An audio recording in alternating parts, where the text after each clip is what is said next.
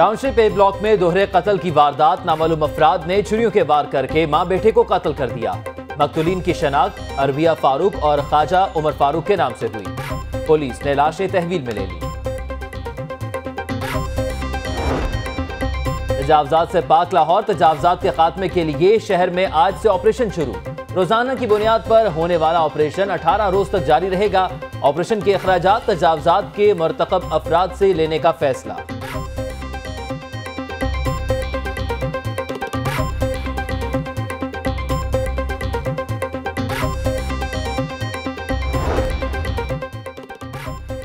دو ہزار سے زائد تجاوزات پر سرخ نشان لگا دیے گئے۔ سب سے پہلے Data Ganj Bakhsh Shalamar zone Sabzazar Anarkali, lady Wellington road اور اردو بازار میں آپریشن ہوگا۔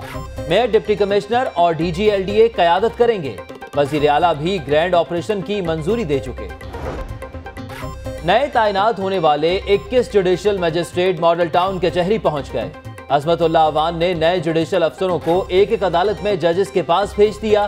نئے ججز کیسز کی سماعت دیکھیں گے۔ ہائی کورٹ میں نئے ججوں کی تقرری فوری روکنے کی درخواست۔ وفاقی حکومت کو دس اکتوبر کے لیے نوٹس جاری۔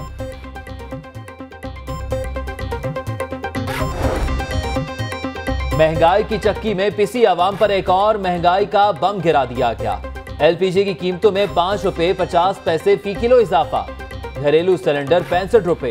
اڑسٹھ پیسے مہنگا۔ کمرشل سلنڈر کی قیمت دو سو باون روپے بڑھ گئی۔ پنجاب گروپ آف کالجز غیر نصابی سرگرمیوں میں بھی سب سے آگے۔ تنسازی کے انٹر کالجیٹ مقابلوں میں جیت کی روایت برقرار۔